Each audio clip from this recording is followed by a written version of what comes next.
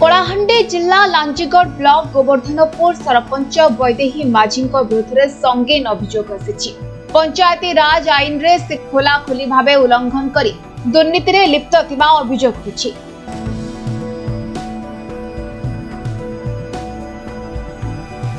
ସରପଞ୍ଚ ବୈଦେହୀ ମାଝୀ ସମସ୍ତ ସଭ୍ୟ ଓ ସଭ୍ୟାଙ୍କ ବିଶ୍ୱାସ ନେଇଛନ୍ତି ତେଣୁ ତାଙ୍କ ବିରୋଧରେ ଅନାସ୍ଥା ପ୍ରସ୍ତାବ ଆଗତ ପାଇଁ ସଭ୍ୟ ସଭ୍ୟାମାନେ ନିଷ୍ପତ୍ତି ନେଇଛନ୍ତି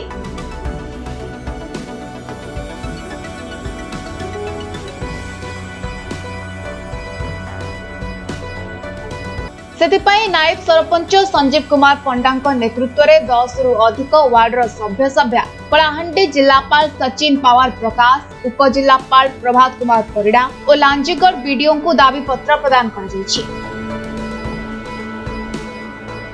ଆମର ଦାବି ଆଜି ନାୟକ ସରପଞ୍ଚ କଲେକ୍ଟର ଅଫିସକୁ ଦାବି କରିବା ଲାଗି ଆସିଛୁ আমার সরপঞ্চটা কোণী মেম্বর না নায়ক সরপঞ্চর না পিওর কোণী লোকর কথা শুনুনি তার স্বামী তার নিজের একছত্র বা তার তার তার করুছে যেবে যে যেকোনসি মিটিংরে বি যা সমাধান মিটিং বোর্ডরে হব সে ঘরকু আসলা পরে সেটা হয়ে না সে মেম্বর বন্ধু কে পচারিব সে নায়ক সরপঞ্চ কি সেমতি করি সে তার নিজের রাজনীতি পঞ্চায়েত চলাবাই চেষ্টা করছে আজকে অঢ়াই বর্ষ হয়ে গলা না পঞ্চায়েতর আসলা ফন্ড খরচা হয়ে পারুছে ନା କୌଣସି ୱାର୍ଡ଼ରେ ବିକାଶ ହୋଇପାରୁଛେ ନା କୌଣସି ଜିନିଷରେ ନାହିଁ ଜଳବାୟୁ କେଉଁଠି ନଳକୂଆ ଗୋଟେ ଖରାପ ହୋଇଗଲେ ବି ଏ ସରପଞ୍ଚ କିଛି ଶୁଣୁନାହାନ୍ତି ଆମେ ନିଜେ ମେମ୍ବର୍ମାନେ